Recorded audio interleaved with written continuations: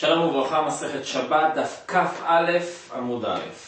אומרת הגמרא, תנו רבנן, כל אלו שאמרו אין מדליקים בהן בשבת, ראינו תחילת הפרק שאסור להדליק בפתילות מסוימות, בשמנים מסוימים, אבל עושים מהם מדורה גדולה, בין להתחמם כנגדה, בין להשתמש לאורה, בין על גבי קרקע, בין על גבי קירה או מנורה.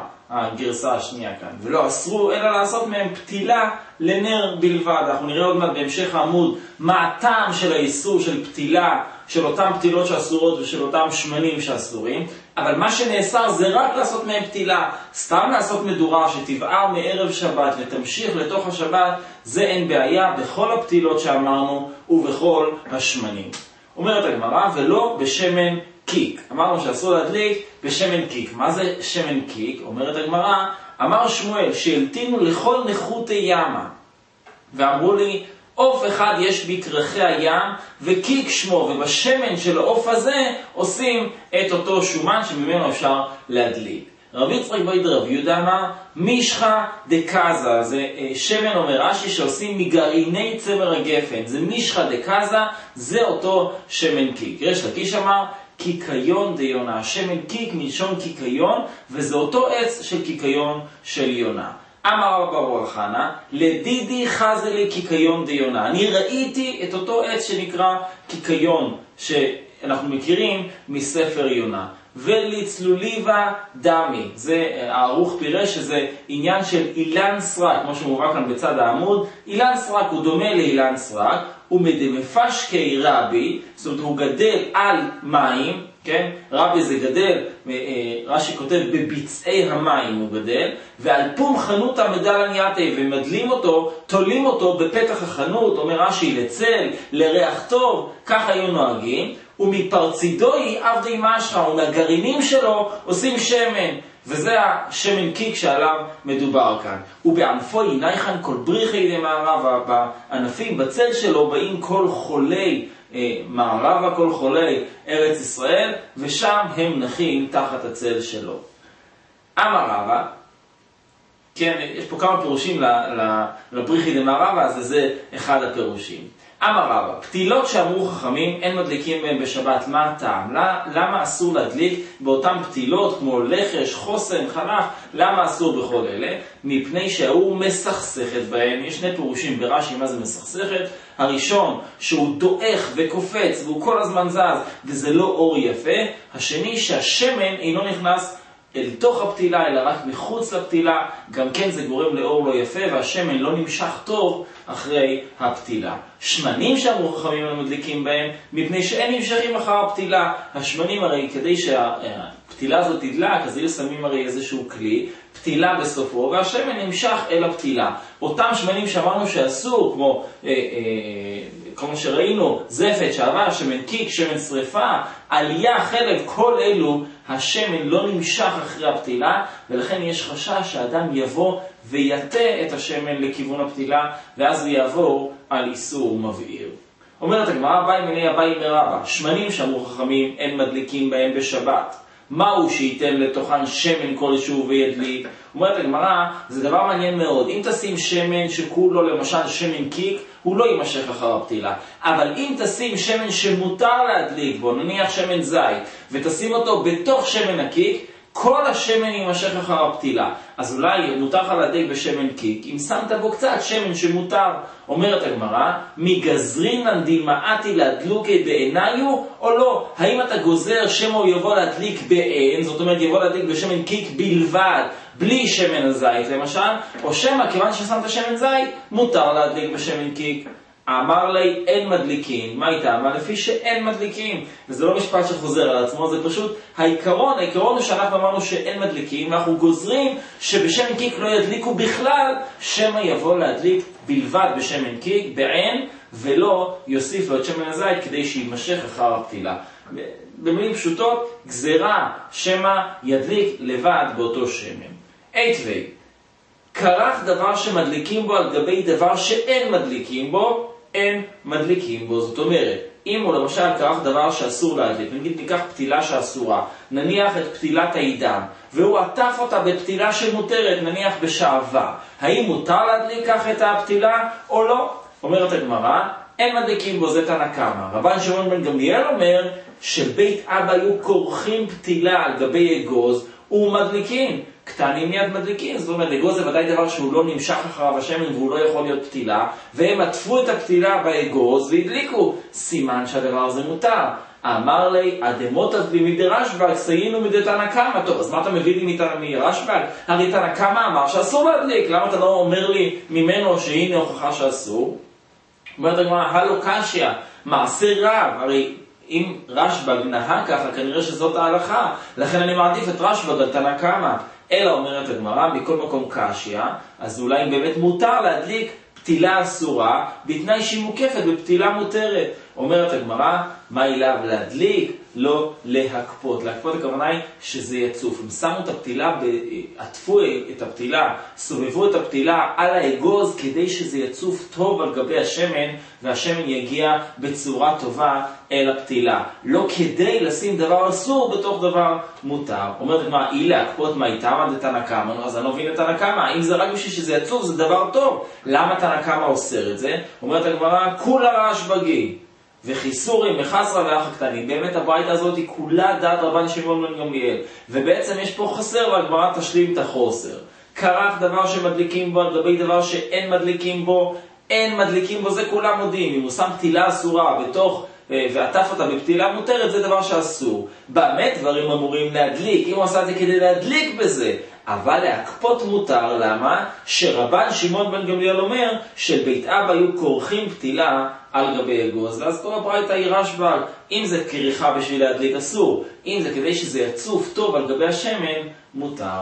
אומרת הגמרא, הנה, ואמר רב ברונה אמר רב חלב מאותח וקרבי דגים שנימוכו, אדם נותן לתוכם שמן כלשהו ומדליק. אומרת הגמרא, יש פה עניין מאוד משונה. אתה אמרת לי שחלב אסור, ופה כתוב שחלב שהטיחו אותו וקרבי דגים שנימוכו, נותן לתוכם שמן כלשהו, שמן זית למשל, ואז כן מותר. רגע, אמרת לי ששמן קיק בעין אסור, שמא, אפילו שיש בו שמן זית אסור, שמא ידליק בשמן קיק לבד. אומרת הגמרא, הנה חלב שאסור להדליק בו, אם התחת אותו, שמת לתוכו קצת שמן זית, מותר להדליק בו כבר. למה? למה זה לא דומה לשמן קיק או, או, או כל דבר אחר שאמרנו מקודם? אומרת הגמרא, הנה ממשכו בעיניו, ואני לא ממשכו בעיניי. אומרת הגמרא דבר כזה, חלב שהטחת אותו הוא שמן מצוין להדלקה, אין שום בעיה. אלא מה? אתה אומר שחלב שלא הטחת אותו הוא אסור. אז מה גזרו חכמים? שים בו קצת שמן זית, ואז הוא יהיה מותר. וגזרו רבנן על חלב מאותח, משום חלב שאינו מאותח. בסדר, כבר גזרו חכמים ששמן שהטחת אותו לבד אסור להדליק בו, אבל אם שמת בו קצת שמן שאפשר להדליק בו, שמן זית למשל, אז כן מותר. ועל קרבי דגים שנימוכו משום קרבי דגים שלא נימוכו. וליגזור נמי חלב מאותח וקרבי דגים שנימוכו, שנתן לתוכן שמן משום חלב מאותח וקרבי דגים שנימוכו, שלא נתן לתוכם שמן. אומרת הגמרא, בוא תעשה עוד גזרה. מה הגזרה הנוספת? הרי שמן ש... שוב, שום, אה, חלב שהותחת אותו כשלעצמו הוא מצוין, באו גזרו חכמים, כיוון שלא תחשוב שחלב שלא התחת מותר, אז בחלב שכן התחת שים קצת שמן זית. עכשיו אומרת לגמר, בוא נגזור עוד אחד, בוא נגזור חלב שהתחת אותו ושמת בו שמן זית, את הוא חלב שהתחת אותו ולא שמת בו שמן זית. אומרת הגמרא זה כבר לא, היא גוף הגזירה, ואנא נקום ונגזור גזירה לגזירה. אומרת הגמרא אי אפשר, מותר, אפשר לעשות גזירה לדין המקורי. חלב מאותח, עד הוא חלב שאינו מאותח, שהוא אסור לכתחילה. אבל לעשות חלב ששמת בו שמן זית, לאסור גם אותו בגלל חלב שלא שמת בו שמן זית, זה כבר גזירה לגזירה. ולכן, בזה לא גזרו חכמים.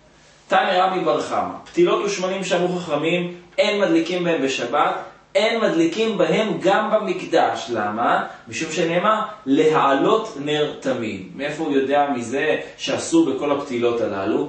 תמי לה והוא אמר לה, הוא גם יסביר, כדי שתהיה שלהבת עולה מאליה, ולא שתהיה עולה על ידי דבר אחר. זאת אומרת, אם הפתילה, לא, אם השמן לא נמשך טוב אחרי הפתילה, אתה צריך משהו שיעזור לו. וכתוב כאן, להעלות נר תמיד, שתהיה עולה מאליה. לא שיהיה צריך דבר מסייע, ולכן הפתילות והשמנים שאמרו כאן שאסורים בשבת, אסורים גם במקדש, כי זה לא עולה מאליו.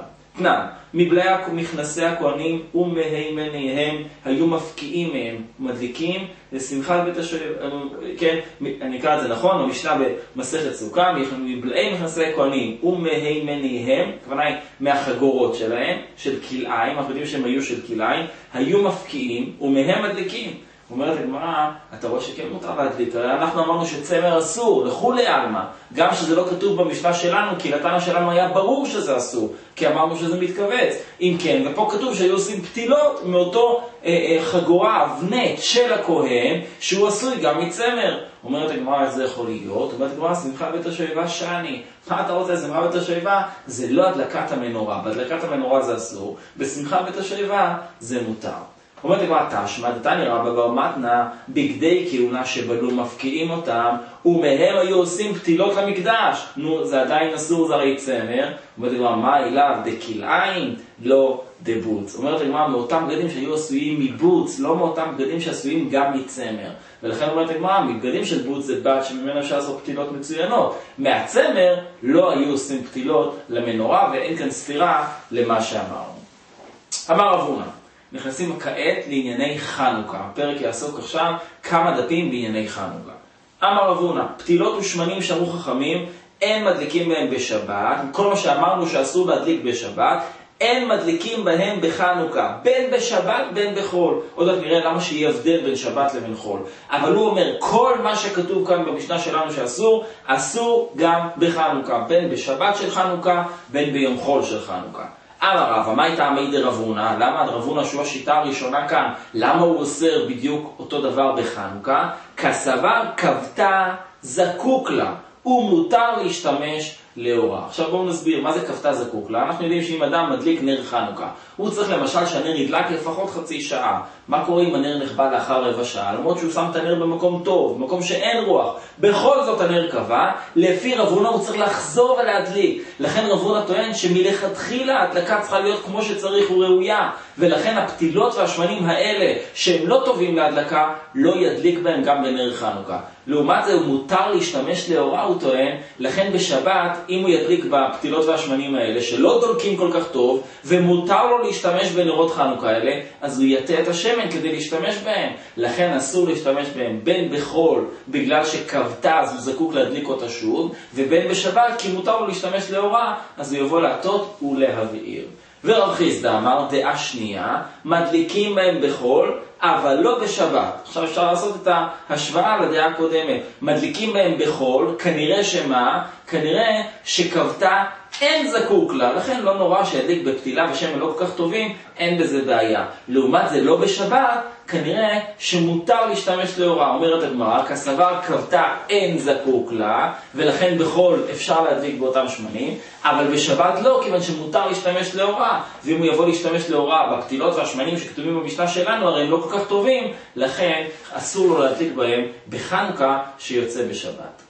אמר רבי זיירא, אמר רב מתנא ואמר לה אמר רבי זיירא אמר רב, או בשם רב מתנא או בשם רב, פתילות ושמנים שאמרו חכמים אין מדליקים בהם בשבת, מדליקים בהם בחנוכה, בין בחול בין בשבת. למה? אמר רבי ירמיה מייתמא דרב, כסבר כבתה אין זקוק לה, ולכן הוא יכול להדליק בפתלים, בפתילות ובשמנים הללו, אין בזה בעיה. ואסור להשתמש לאורה, ולכן אסור גם, לכן, לכן לא אכפת לנו שידליק בשמנים ופתילות לא טובים כל כך, כיוון שאסור לו להשתמש לאורה, הוא לא יבוא להטות, וגם אם השמן לא נמשך כל כך אחר הפתילה, כמו למשל שמן של קיק, אומרת הגמרא, לא קרה כלום, הרי אסור לו להשתמש לאורה, הוא לא יבוא להטות ולא יבוא להבעיר, ולכן כל מה שנאמר כאן במשנה שלנו זה רק לגבי שבת, אבל בחנוכה מותר להשתמש בהם.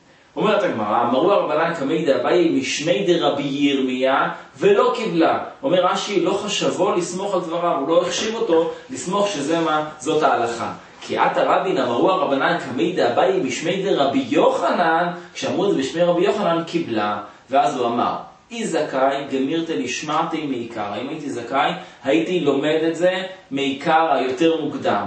מה, מה העניין שהיה לומד את זה יותר מוקדם? והגמרא נף, והגמרא אומרת, הגמרא, עכשיו הוא כן יודע את זה, אז מה הוא עכשיו כואב על זה שהוא לא למד את זה יותר מוקדם? נפקא מינא לגירסא דינקותא, ככל שאדם לומד את הדברים יותר מוקדם, כך הוא יודע וזוכר אותם יותר טוב. שואלת הגמרא, וכבתה אין זקוק לה? מה, יש דעה שיכולה לומר שאם כבה נר חנוכה פחות מהזמן הראוי לו, אז לא מדליקים? הוא רמין, הוא מצוותה מי שתשכח חמה עד שתכלה רגל מן השוק. אז אתה רואה שהוא חייב לחזור ולהדליק עד שתכלה רגל מן השוק. אומרת הגמרא, מה היא להב די כבתה הדר מדליק לה? לא. לא הכוונה שאם היא כבתה הוא צריך לחזור ולהדליק, אלא דאי לא אדליק מדליק. אם הוא לא הדליק, יכול להדליק עד שתכלה רגל מן השוק. אבל אם היא כבתה, לא חייב לחזור ולהדליק. ואינמי לשיעורה, אתה צריך לדעת כמה שמן אתה צריך לשים בנר משקיעת החמה עד שתכלה רגל מן השוק. אבל אם באמצע זה כבה ואתה הדלקת את זה כמו שצריך, לא צריך לחזור ולהדליק.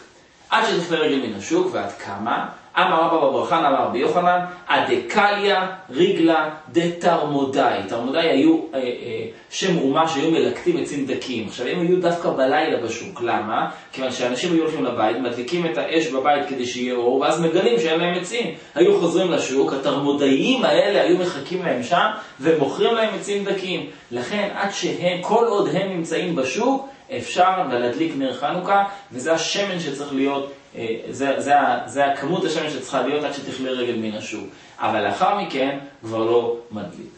אומרת הגמרא, תנו רבנן, מצוות חנוכה, נר איש וביתו. המצווה המקורית או הבסיסית היא שיהיה נר אחד בכל בית, בכל אחד משמונת הימים נר אחד. אחרי זה, אומרת הגמרא, והמהדרים, נר לכל אחד ואחד מבני הבית. זאת אומרת, ההידור הוא שלכל אחד ואחד מבני הבית יהיה נר.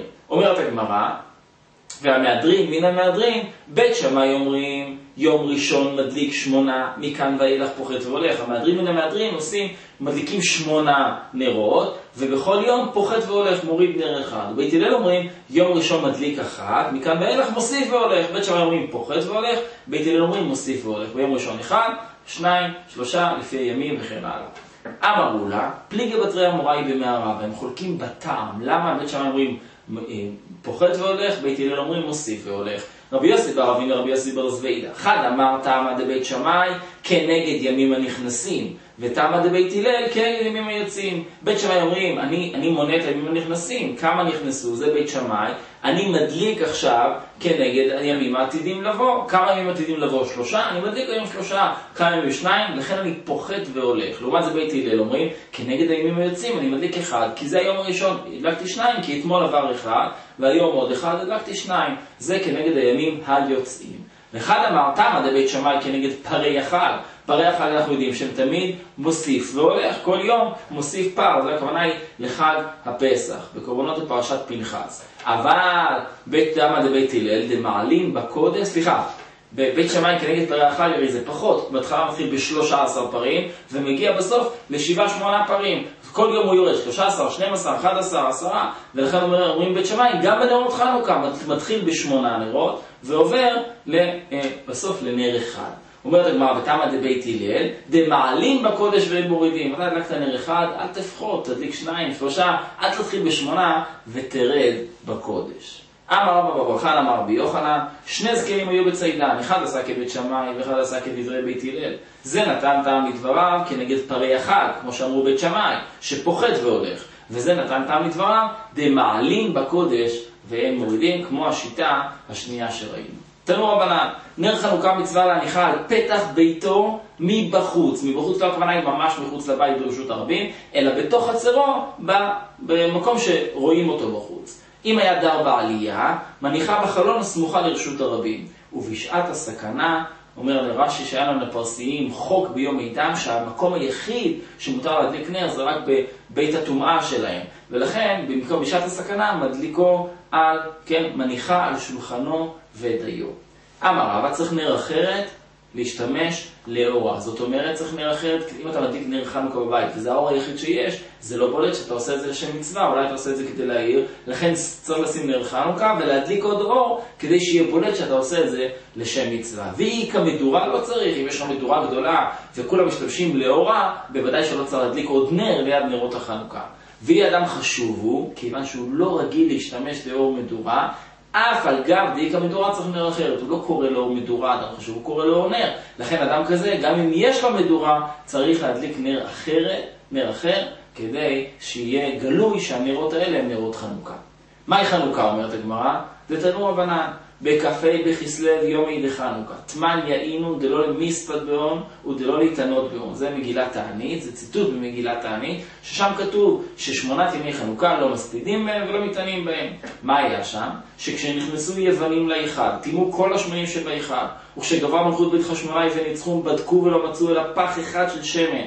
שהיה מונח בחותמו של כהן גדול, ולא היה בו אלא להדליק יום אחד. נעשה בו נס והדליקו ממנו שמונה ימים, לשנה אחרת כבאום ועשו ימים טובים, בהלל ובהודאה. אומרת הגמרא, תנא נתן. אה, רק צריך להגיד שבהלל ובהודאה, כדאי לראות כאן את רש"י, לא שאסורים במלאכה שלא נקבעו אלא לקרוא את הלל ולומר על הניסים בהודאה. מדובר כאן על שני, שתי מצוות, מדובר על להגיד הלל ולהגיד על הניסים. קביעות של ביטול מלאכה זה לא קבוע. נא נתן, גץ היוצא מתחת הפטיש ויצא והזיק. אדם מכה בפטיש ויצא גץ מההכאה הזאת והזיק, שרף איזה משהו חייב, זה ודאי. גמל שטעון פשטן, והוא עובר ברשות הרבים, הוא הולך ברשות הרבים, והוא כל כך עמוס בפשטן, שהפשטן נכנס לתוך חנות היחיד. ונכנס היה פשטנו לתוך החנות ודלקה בנרו של חנווני והדליק את הבירה. הפשטן הזה נדלק בגלל שהוא נפל לתוך רשות היחיד והיה כל כך עמוס ונכנס תוך כדי הליכה לרשות היחיד, לחנות, הדליק את כל החנות בגלל שהיה שם איזה נר, בעל הגמל חייב. אומרת הגמרא, הניח חנווני את נרו מבחוץ, חנווני חייב, ודאי שאם הנר היה בחוץ והגמל עבר עם הפשטן ושם זה נדלק, אז בעל הגמל פטור והחנווני חייב. רבי יהודה אומר, בנר חנוכה פטור, כיוון שהוא עושה שם מידין, והוא צריך שם לשים את הנר, קצת ברשות הרבים, ממילא בעל הגמל הוא זה שחייב, החנווני פטור. אמר רבינה, משמי דרבה, זאת אומרת נר חנוכה, מצווה להניחה בתוך עשרה. מזה אנחנו מוכיחים הסקה הלכתית, שהוא חייב לשים את זה בתוך עשרה, שאם לא, דיסק לך למעלה מעשרה, לי מלא, היה לך להניח למעלה מגמל ברוחבו. אם מותר לשים את זה מאוד גבוה, אז אם כן, הגמל היה אומר, סליחה, אני לא אשם. למה אני חייב? הרי אתה יכולת לשים את זה גבוה יותר מסוס, מגמל ברוחבו. מזה שאתה שמת את זה נמוך, אתה אשם. אלא אם כן, אתה אומר שהוא חייב לשים את זה נמוך בעל החנות, כיוון שזאת ההלכה. מזה מסיק, כן, אה, רבינה, שזאת ההלכה. אומרת הגמרא, ודילמה, אם מיטריך אלי טובה, אתי למנועים ממצווה. אומרת הגמרא זאת לא הוכחה. כל מה שאנחנו מחייבים את זה, זה כדי שלא נגיד, ש... אה, כמו שאנחנו אומרים שיניחה בעשרה טפחים, זה רק כדי שהוא לא יבוא להימנע ממצווה, יגיד לו זה קשה לי מדי, ואני לא אעשה את המצווה הזאת, אבל אין כאן הוכחה שזה הדין לכתחילה שצריך לשים מתחת לעשרה, הגמרא עוד אה, תדון בזה. אמר רב כהנא דרש רב נתן ברמניומי משמי דרבי תנחום, נר של חנוכה שניחה למעלה מכף אמה, פסולה כסוכה או כמבוי, כיוון שבכל העניינים האלה העין לא שולטת, וכיוון שככה כל העניין זה פרסום מניסה, אז גם בסוכה צריך לראות את הסכך, גם במבוי צריך לדעת שיש שם מבוי, וצריך לראות את ההיכר של מבוי, וממילא מעל עשרים אמה העין לא שולטת, וזה לא מועיל. עד כאן.